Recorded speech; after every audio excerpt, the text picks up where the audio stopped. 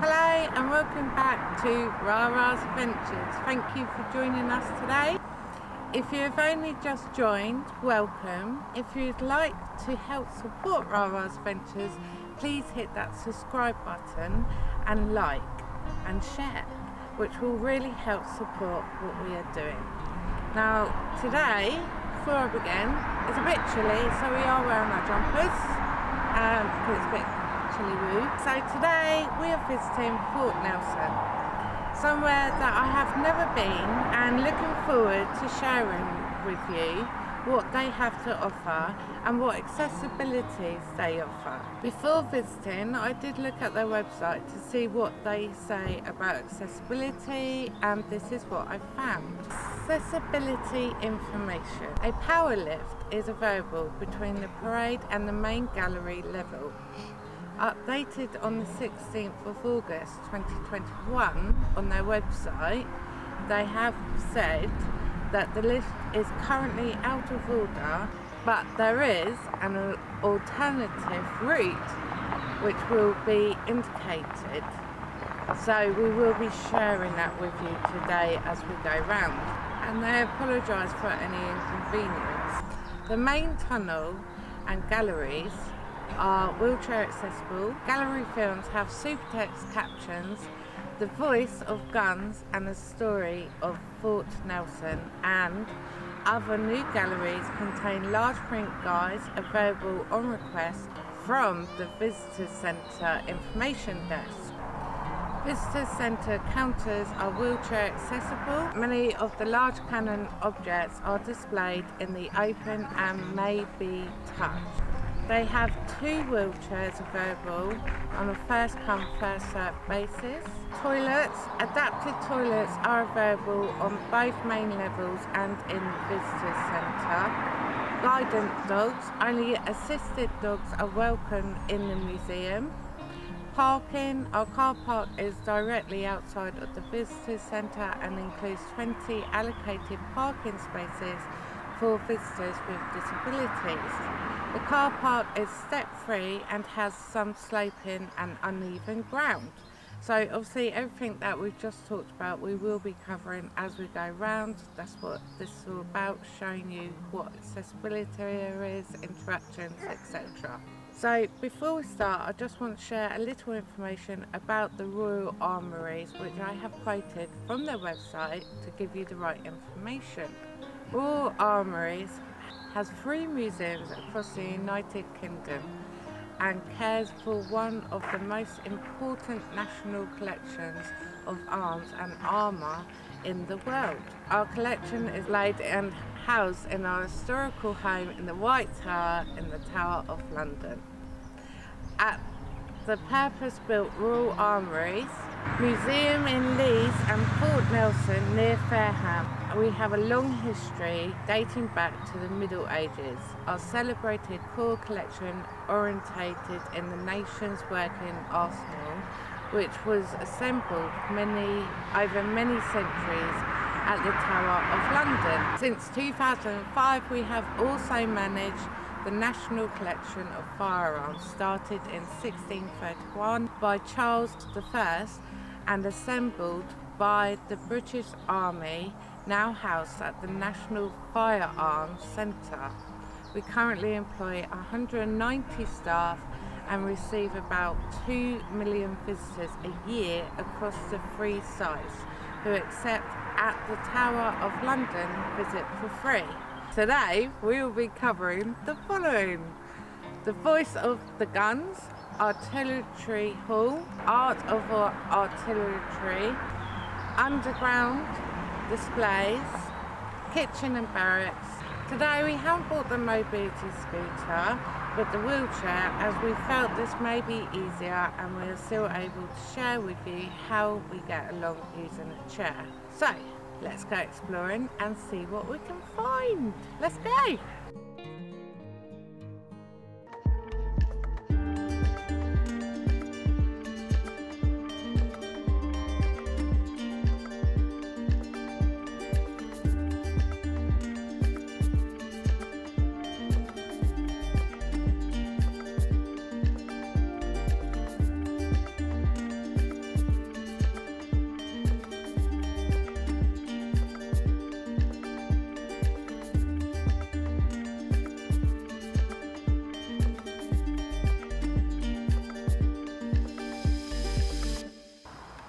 So we are now at the part called the Voice of the Guns. We were going to do it indoors, but we thought we'd stand out in the rain. Um, but the reason, seriously, is because it's really echoey and it'd be really hard for you guys to hear. So we're going to talk about it first and then go in and do a little film of it so you can see. So, the voice of the guns, I've quoted this from the website to give you the right information.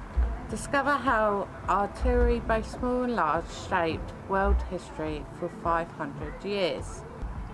Learn how the changes in technology that made difference between victory and defeat. See large and small guns from across the countries.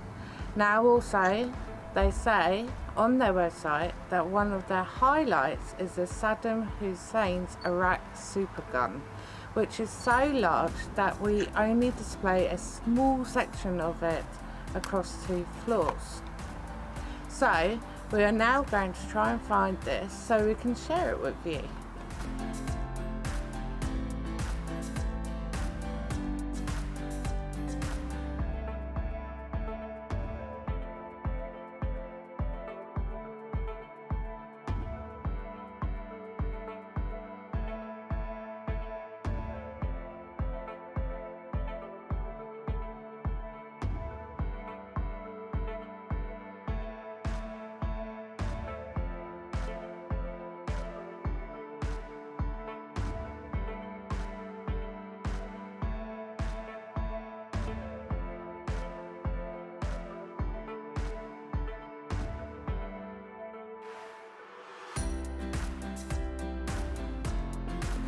Okay, so we are in the artillery hall, um, which we will be showing a little film as we go around.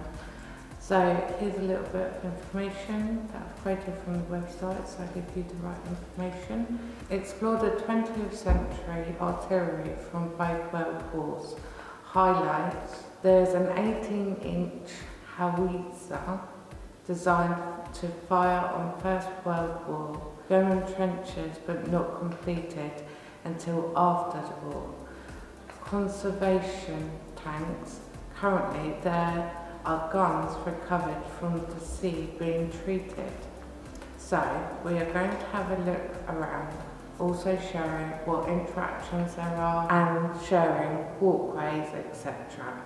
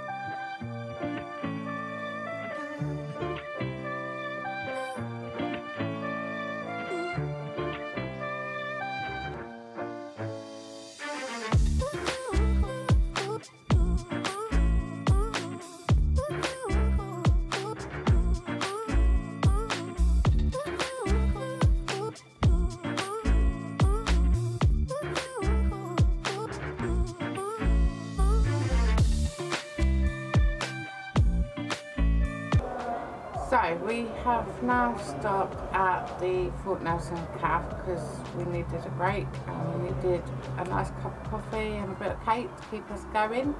So I thought we'd stop here and I'll share a little bit about the cafe. So Fort Nelson Cafe is in the Visitors Centre and is now fully open for a delicious range of drinks, snacks and light meals including jacket potatoes and paninis. According to the current guidelines, all our tables are socially distanced and enhanced health and safety protocols have been implemented. Only contactless payments can be accepted. Whilst we're here, I also want to share with you about the gift shop. Now I'm doing it out here as it's quite noisy inside and the gift shop and the cafe are in the same area. The gift shop is with the um, cafe as well and it's all accessible in there um, and there's lots of little bits, trinkets that you can buy to take home to remember your visit. Okay, let's go.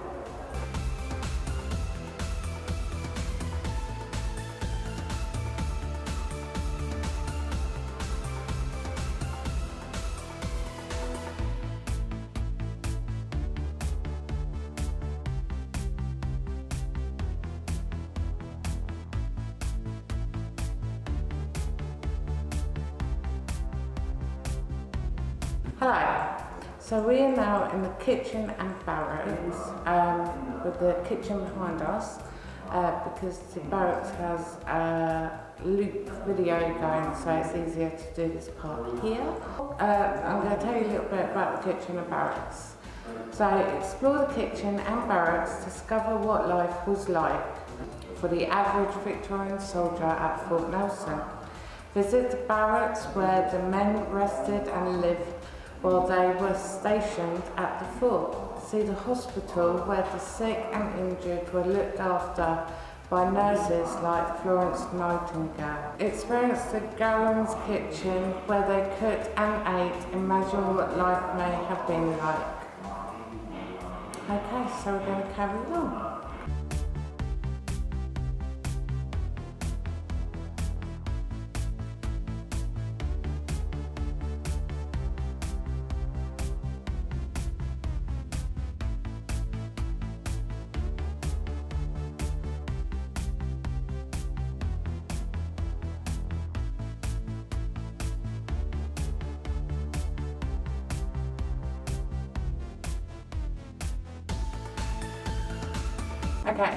So we are now at the underground displays, as you can see behind me. We're heading down to the underground displays. I must say that I'm quite excited about this and it is majority wheelchair friendly. There are some bits that are not wheelchair friendly, um, as you'll see from part of the film that we share with you. So down in the underground, a series of underground tunnels that allowed the soldiers in the garrison to reach important areas of the fort's defences. Gunpowder and ammunition stores for the guns was stored in the powder magazine. So we are now going to share with you some of the tunnel, but we're not going to share it all. But we've got to leave something for you to see when you come and visit. So let's go.